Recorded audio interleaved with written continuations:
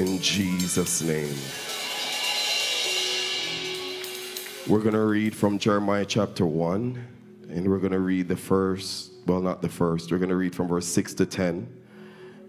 And then we're going to jump to Luke chapter 10, and we're going to read 17 to 19. So, Jeremiah chapter 1, verse 6 says, Then said I, Ah, Lord God, behold, I cannot speak, for I am a child. But then, but the Lord said unto me, Say not, I am a child, for thou shalt go to all that I shall send thee, and whatsoever I command thee, thou shalt speak. Be not afraid of their faces, for I am with thee to deliver thee, saith the Lord. Then the Lord put forth his hand and touched my mouth. And the Lord said unto me, Behold, I have put my words in thy mouth. See, I have this day set thee over the nations and over the kingdoms to root out and to pull down and to destroy and to throw down, to build and to plant. Luke chapter 10, verse 17 says, 17 to 19, and the 70 returned again with joy, saying, Lord, even the devils are subject to us through thy name.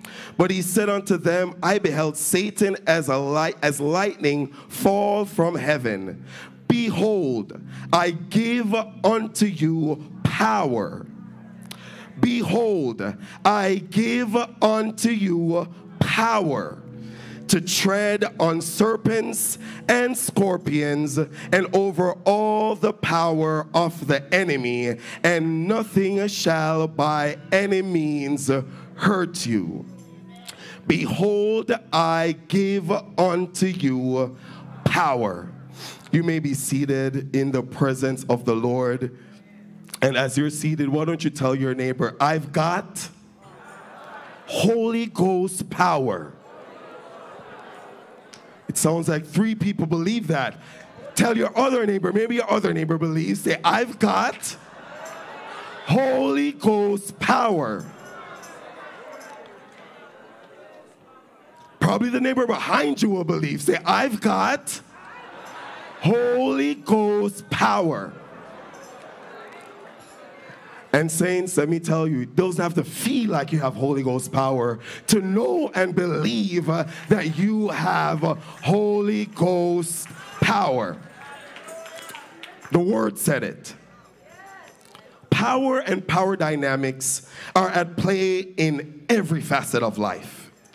So it shouldn't surprise us when we see power dynamics in our homes, between couples, and men and women have power dynamics. Children and their parents have power dynamics. There are power dynamics on the job. There's upper management, middle management, employees, and there are all these dynamics that exist there. And there are even power dynamics in the church. There is authority. There is different levels of operation, and there are power dynamics that exist in every facet of life. So it seems to me that power and power dynamics is a God idea. Because in every area of life, we see that there are power dynamics. But just as everything else in the world, everything that God created for his purpose, our flesh and the devil tries to pollute. Our flesh and the devil tries to warp our flesh and the devil tries to distort. But there is a power that is higher than any other power. And while the devil fell from heaven, as the scripture denotes, and fell from heaven with power, there is still yet a greater power and that power is the power that exists in the kingdom of God. And there is power dynamics in the kingdom of God. Here's how it works there's one king, and he has all power. It's that simple. There is one king. His name is Jesus, and he has all power. That's how simple God intended power dynamics to be. One king that everybody is subject to. Ephesians 1:19 says it this, this way. And what is the exceeding greatness of his power towards who be, to, to us ward who believe according to the working of his mighty power. I'm reading verse 20 which he wrought in christ when he raised him from the dead and set him at his own right hand in the heavenly places far above far above all principality and power and might and dominion and every name that is named, not only in this world, but in that which is to come. Some start to say the White House has a name, but no power. Not like the power that's in the kingdom. Wealthy men may have names, but there is a king with the power. Now, this king that has this power, here's the big revelation He's in us. This king of glory this king that every power is subject to. This king that is greater and far above all principalities and powers and dominions and might is in you. So when you tell your neighbor, I've got Holy Ghost power, what you're saying to your neighbor is, the king is in me the king of all kings. I don't think we get it yet, Brother Jermaine. The king that everything is subject to is in us and has given us power. The king of the universe, Jesus Christ Himself. This is why the enemy tries to warp it. Have you ever heard of willpower? Right? Willpower is a real thing. And it's a serious thing, but it's in here. It's, it's all in here. And you can accomplish a lot with willpower. You really can. Because the Bible tells us, read the story of Babel. They had a, they had a will that they were going to build something. And because they had a will, guess what? They almost accomplished it. I have a lot of willpower. When I tell you sometimes I make up my mind, I'm going to finish this thing, I'm going to accomplish this thing, I'm going to set out and get this thing done. We have willpower. But one of the translations of power, and I, I, the reason why I wanted to put out willpower in there is so that we understand where it's coming from. It's coming from us. The first word power in Luke 10 and 19, it says, Luke 10 and 19, Behold, I give unto you power. Now, that word power, that word power, the first one, I give unto you power. It's the power to choose. That's what that power means. That first one. It's like your will. So I give unto you the opportunity to choose if you're going to go in this power or the king power. I've given you power. Your will, your choice can enable you to accomplish a lot of things. But we have to remember Jesus in Gethsemane. What did he say? Not my will. Not the power that's in my strength, not what I have in the tank, not what I can endure on my own, not my will. Because Calvary could not be birthed through willpower. What was done on the cross could not be contained just by the strength of flesh. What was done for our eternal salvation needed something greater. So Jesus said, Not my will, but thy will be done. So it's important to recognize where our source of power lies. Because while we're trying to fight the enemy, if we're fighting him with willpower, we are going to lose every time.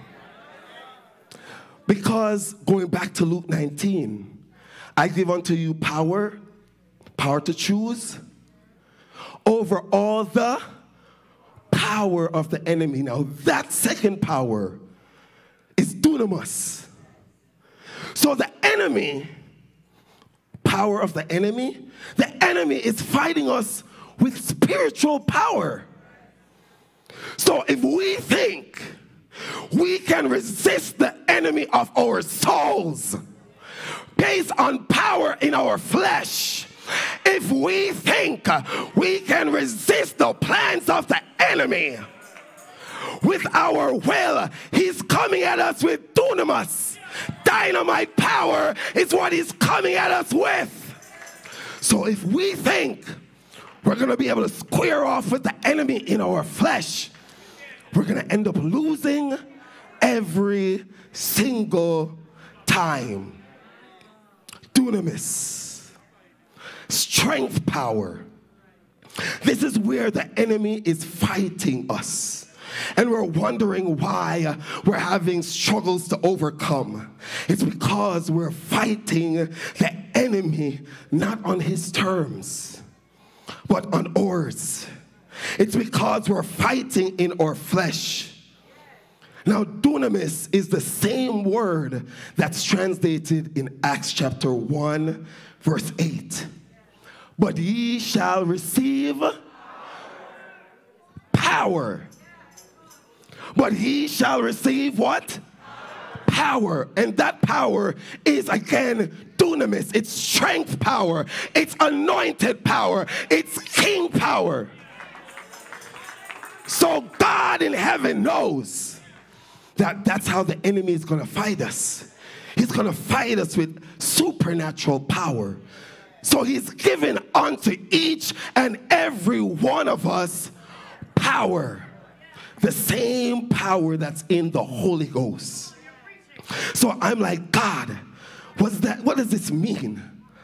I've given you power in the spirit, but I've also given you the power of choice.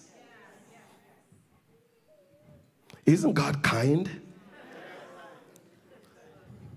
So we get to choose if we want to operate in our flesh that's fine. We get to choose that. Or if we want to fight in the spirit, if we want to war over our souls in the spirit. So I've given you access to power that transcends this earth, and I've endued you with power to override the power of the enemy. But we, God's people, and if we're honest with ourselves, we've been choosing willpower, thinking that we can accomplish much by ourselves, thinking that we have what it takes to overcome.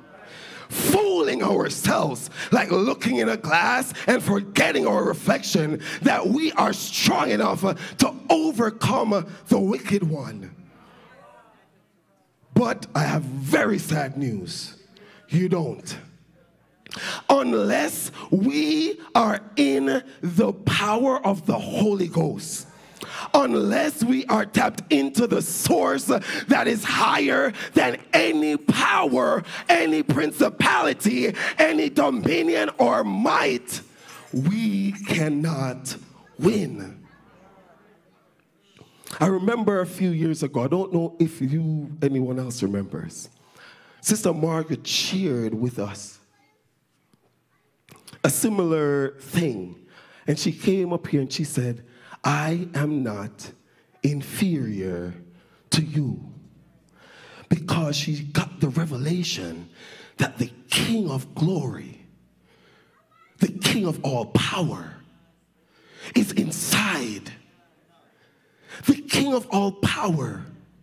So that pornography that, that feels like it's overtaking you, you stare that thing in the face and you say, I am not inferior to you. Those sexual sins that no one else knows, you stare it in the face and say, I am not inferior to you. Anxiety and depression, you tell it to the face. I am not inferior to you because I have the King of glory. I have the Holy Ghost and fire. I have the power to overcome. And when you have this revelation, uh, no devil in hell can make you buckle. Why? Because you're not inferior. Lust cannot have any power over you because you're not inferior. Apathy towards the church cannot overcome you because you are not inferior. You have power.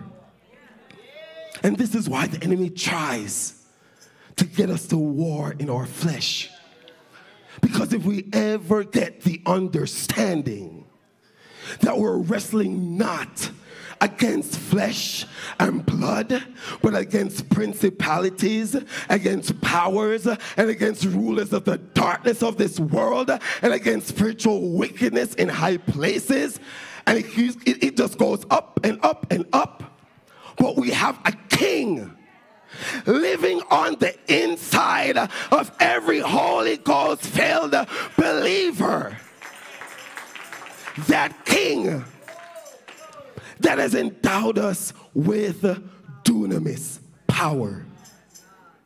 Acts chapter 10, verse 38 said like this just in case we think we don't need the power of the Holy Ghost.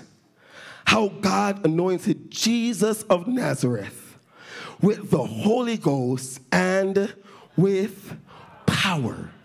That's the same word, dunamis who went about doing good and healing all that were oppressed of the devil, for God was with him.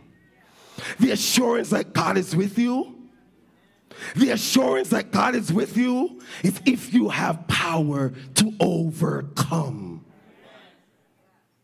That's it. If you have power to overcome, then you can be assured that you have the Holy Ghost. In the very same way that Jesus uh, was anointed with the Holy Ghost and with power, it's the same way God wants to give us access to this kingdom power. And this is why we cannot afford to have, and I'm going to talk to our young people and our parents, we cannot afford not to have the Holy Ghost.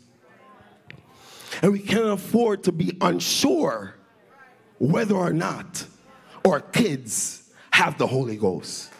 We can't afford to be wondering when is the last time they prayed through. We can't afford that because I don't know about anyone else. And maybe you guys were just super saved.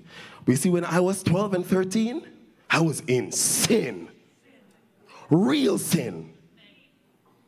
Real, real sin. So if you're looking at your 12 and 13 year old thinking that we have time, they can get it together eventually. I was in sin at 12 and 13 years old. So I don't know how saved you guys were. God bless you if you were. But I know I was deep in sin. Puberty, navigating puberty and adolescence in school is a recipe for sin. I'm going to tell them, sorry, I'm going to tell them. It's the truth because I remember I was there. And I'm not going to fool myself to think I wasn't. Navigating puberty in school is dangerous. You know how many things I did in school? and my parents, they don't know. That's why parents, elders, that's why people of God, we have to ensure that our kids have the Holy Ghost for real. We have to ensure that they are on fire.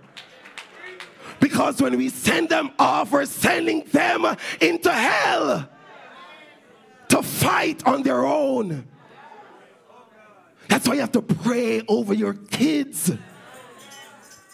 That's why you have to ensure that you bring them to these altars and pray the name of Jesus over them. Pray the baptism of the Holy Ghost over them. Pray, pray, pray. Because that's the only way they'll have power to overcome. Only by the strength of the Holy Ghost. We cannot overcome darkness without it.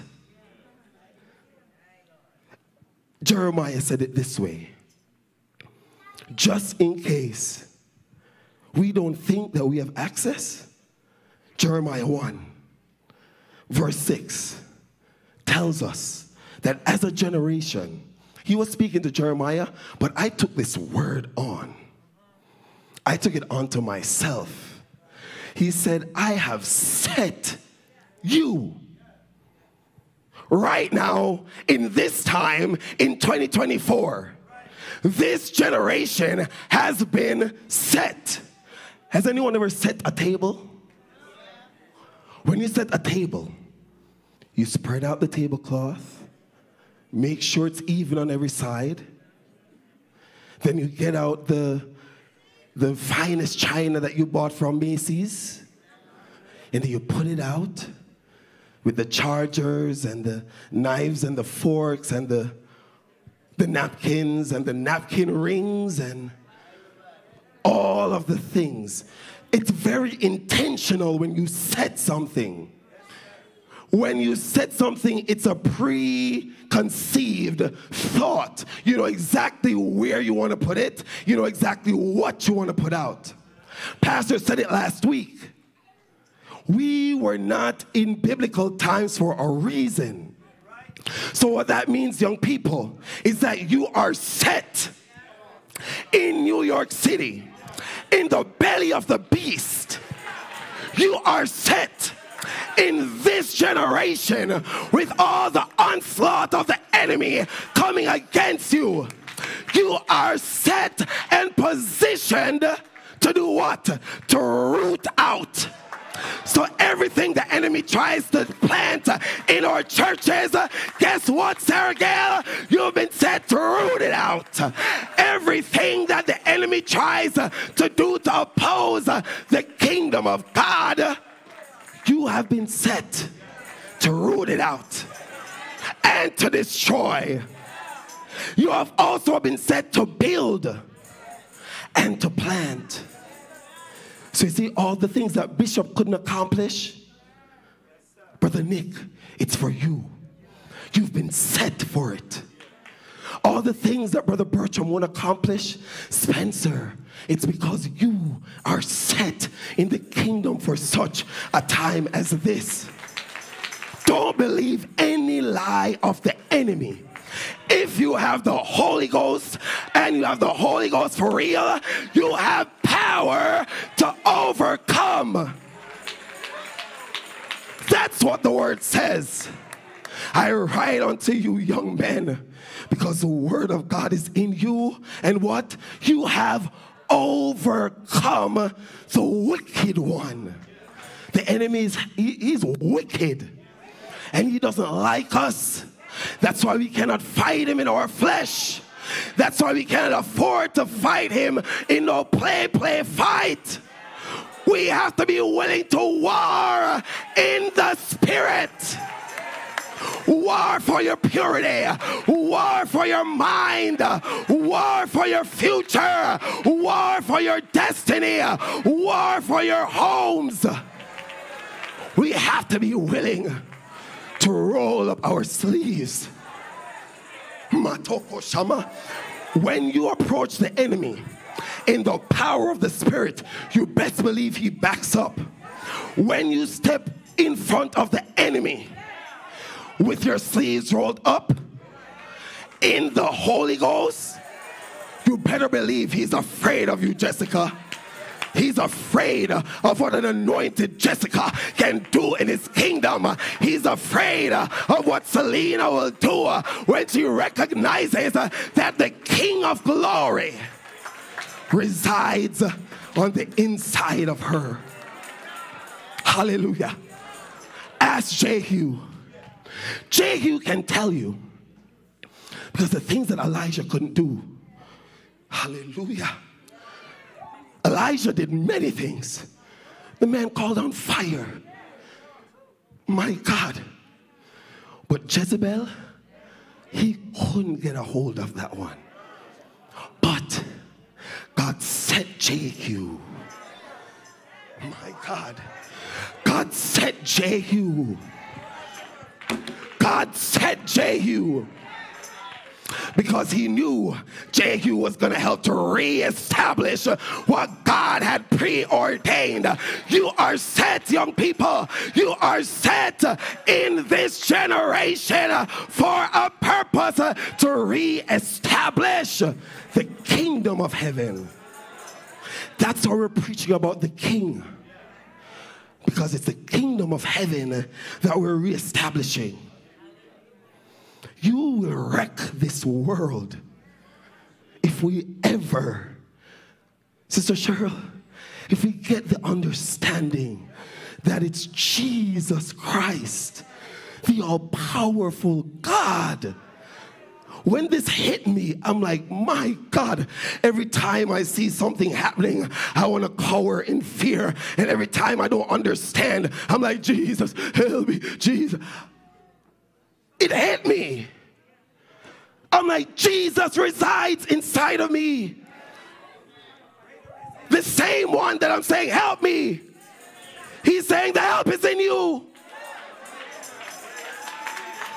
So, because I have this power, I can look at my mountain and I can say, Be thou removed. Because the Holy Ghost is inside of me. It doesn't mean my problems disappear overnight. It doesn't mean I have no more struggle. But it means I can look at my problem and say, I am not inferior to you. Back up. It means I can look at that situation and say, The devil is a liar. I have power, strength power, dunamis. That battle in your mind steer it off in the face and say, This mind belongs to the Lord. This body belongs to the Lord. My children belong to the Lord. My wife, my husband, everything in my life belongs to the Lord. And you're not going to have any ounce of it, devil. Back up. We become so sophisticated uh, and cute, uh, and then we're just messing around uh, with the enemy of our souls. He don't like you.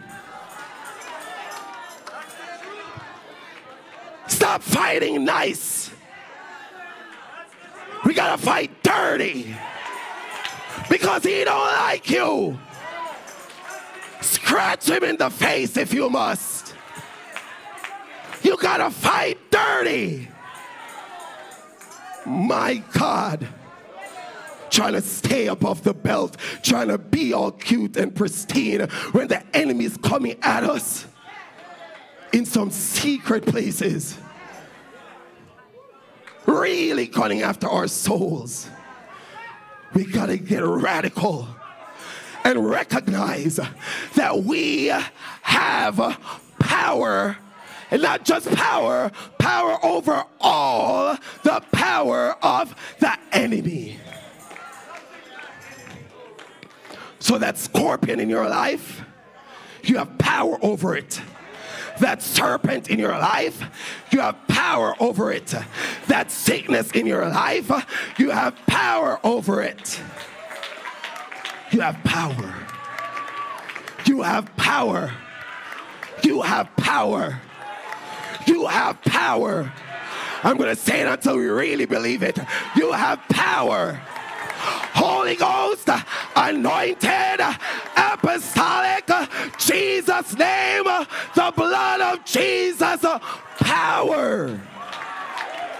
That's what we have inside of us. Our God ain't no weakling. My God, He's the King of the universe. He's no weak man. He's the King.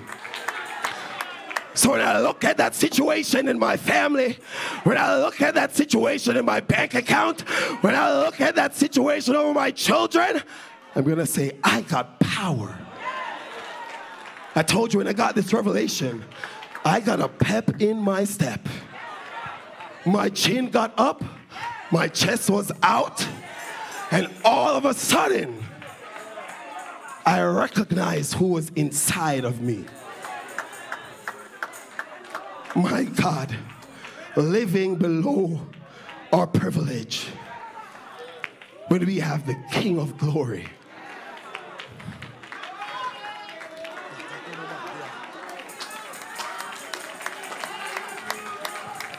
It's all right. You can thank God for the power.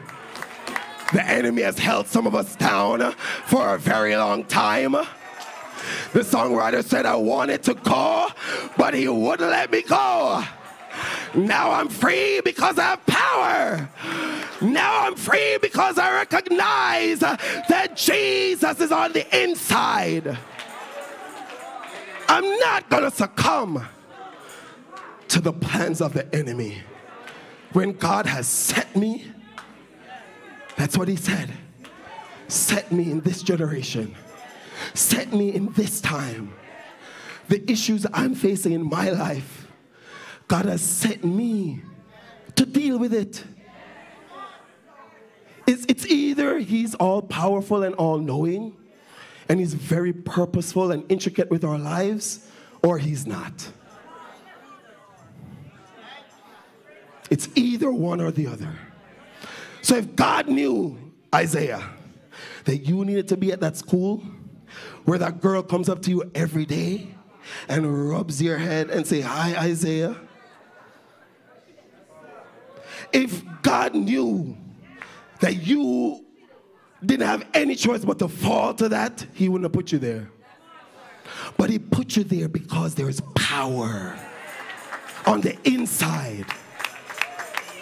You know, we, we preach it well that the there's no sin that's taken you then that is common, right? And that in every sin, God makes a way of escape. But God truly makes a way of escape. Like, I don't know, okay, maybe it's just me. There are times when I'm about to say the wrong thing and I get a phone call. I'm like, that can't be coincidence. I'm just about to say the wrong thing and I get a phone call or I'm about to do something, and then so, something just happens. And every time it happens, I'm like, God, escape. you've given me a way of escape. You've given me a way to resist. Why? Because there's power inside of us that God will not let get diluted. Listen, and I'm, I'm closing. Power comes at a price, though. And I know this generation doesn't like this, but it is the truth. And I'm a part of this generation. I don't like it either. But it's the truth. Power comes at a price. Because for the person of Jesus to be glorified, his flesh had to be crucified. Power always comes at a price. What are you willing to pay to get what you want to get from God? It's, it's, I can't make it any simpler. Genesis chapter 32 and 28 said, And he said, Thy name shall be called no more Jacob, but Israel. For as a prince has thou power with God and with men, and has prevailed. Jacob experienced power with God, but it cost him being disfigured. It cost him changing his identity. It cost him his all. And he may have been limping away from that spot, but he now had power with God. He may have been disfigured and unrecognizable, but he was now going in the power of the Holy Ghost. Power with God cost everything. Sometimes I'm like, God, it can't cost most things. Can I have this part of my life to just like deal with this myself? But to have power with God and with men, because you can have power with men, but to have power with God and with men, it comes at a high price. So ultimately, to lay hold on what God has anointed you for will take a wrestling. I like to call it a dealing with God. That's how I term it in my little brain. That me and God are dealing. Because He's like, I want this, and I'm going to give you this. But I want this. And give me some more of this, and I'll give you a little bit more of this. But if you take some more of this out of you, then I'll give you some. That's the right, and it sounds simple, but it's, it's, it's, a, it's a pain in your flesh. It's a pain in your flesh to have that dealing and that transaction with God where it's saying, I want more of your pride. So that means I'm going to embarrass you. We don't want to hear it. I want more of your will. So that means I'm going to give you more of destiny. I, I, I, want more of, of your time. So that may mean you get laid off.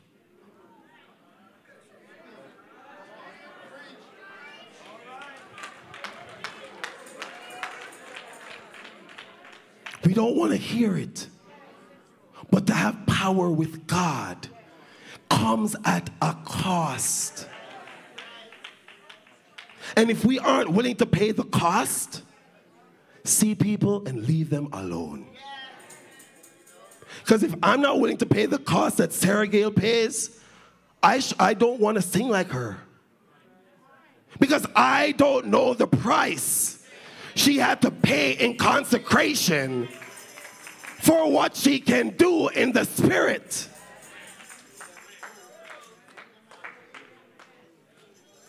When you see Brother Damien pray and you want to pray like Brother Damien, better be ready and willing to say, Damien, what did you have to give up? What did you have to transact with the Lord to get to that place where you can pray like that? You see Brother Bertram get up here and he preaches under the anointing, don't envy him unless you are willing to pay the price. Because power, real Holy Ghost, unfiltered power comes at a high price. And it's not an easy pill to swallow, but it needs to be said. So when you're evaluating your life, when you are evaluating where you are, you say, God, I don't know if I'm willing. Be real. Because it's going to hit you. It's going to hit you. So power comes at a price, and that price is consecration. A surrendering to God. Luke 4, verse 14 reads like this And Jesus returned in the power of the Spirit into Galilee. And there went out a fame of him through the region around about. Jesus himself, 40 days and 40 nights, transacting with his flesh, putting down his flesh, submitting his will so that he can have dunamis to do the miracles that we saw in scripture it came at a price. I was just telling Sister Sarah Gale, and I, I, I appreciate you, Brother Bertram, for mentioning it. This young lady, she did something, at, something happened at HYC. And you just had to be there to understand what happened. And I had to tell her, I'm like, Sarah Gale, you transitioned from a place of, I got talent, because we know she's talented. But she was in a dimension that was far beyond her talent can do. Uh, I'm telling you, I feel it in the Holy Ghost because I was there. And if you were there, you would just be like, this is not our little Sarah Gale. She was anointed by the Holy Ghost. But I know that came at a price. Because power doesn't just happen overnight. I know it came at a price. And I had to encourage her. I said, Sarah Gale, this is not much of an encouragement, but it's all I have. You're going to have to die more. That was, I, I, wish I could tell her, man, pat her on the back and just have her sail. But I had to tell her the real. And the real is if she wants to stay there and go higher, she has to die more. Her will, her plans, her dreams, her lifestyle, everything that God requires has to die for her to live in that place. So when you see consecration produce power, remember there was a price. And we have to count the cost. Power counts the cost. Philippians 3, verse 7 says, But what things were gained to me, those I counted loss for Christ. Yea, doubtless I count all things but loss for the excellency of the knowledge of Christ Jesus my Lord, for who I have suffered the loss of all things, and do count them but dung, that I may win Christ and be found in him, not having mine own righteousness, which is of the law but that which is through the faith of Christ, the righteousness which is of God by faith. And here it is that I, you can't do all of this, that I may know him. And the dunamis of his resurrection and the fellowship of his sufferings, being made conformable unto his death. That's what it takes. That's what it took for you to have the Holy Ghost death. So, if you are going to have the power of God, in your life in operation, that's the formula. Being conformed to his image means dead. Dead to self, dead to dreams, dead to hopes that you had to accomplish this and do that and go there when God said, No, I want you right here. That's the price of power. And here's the last thing I want to share the price of not having power is also too great a price to pay. So, to have power with God, you have to pay the price. To not have power with God, you pay a big price. So it goes back to Him giving us power to choose. we choose our will, okay, but there's a price. Or we choose His will, and there's still a price. Acts chapter 19, verse 11 says, And God wrought special miracles by the hands of Paul. And we preach this all the time, sons of Sceva, we talk about it, right? But this thing stood out to me as I read it. So that from his body were brought unto the sick handkerchiefs or aprons, and diseases departed from them, and evil spirits went out of them. Then certain of the vagabond Jews, exorcists, took upon them a call over them which had evil spirits the name of the Lord Jesus, saying, We adjure you by Jesus and Jesus whom Paul preacheth. And there were seven sons of sons of one Sceva, a Jew, and chief of the priests, which did so. And the evil spirit answered and said, Jesus I know, and Paul I know, but who are ye? This is the verse. And the man in whom the evil spirit was leaped on them and overcame them and prevailed against them. And this part stood out to me, the last clause so that they fled out of the house, naked and wounded.